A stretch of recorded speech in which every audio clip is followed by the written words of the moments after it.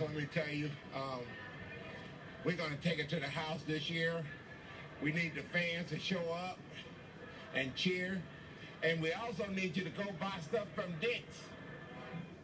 That's some Hall of Fame product placement there. Just like he did during his induction speech, Hall of Famer Charles Haley impersonates Jerry Jones, describing his expectations for this year's Cowboys. More from Haley in a moment. First,